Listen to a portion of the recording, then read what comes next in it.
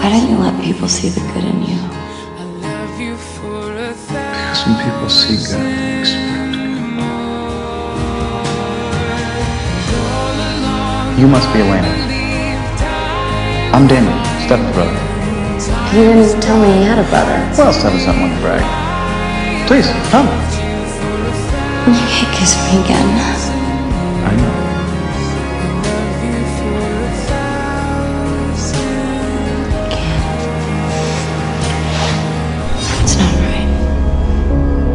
That's right. Just not right now.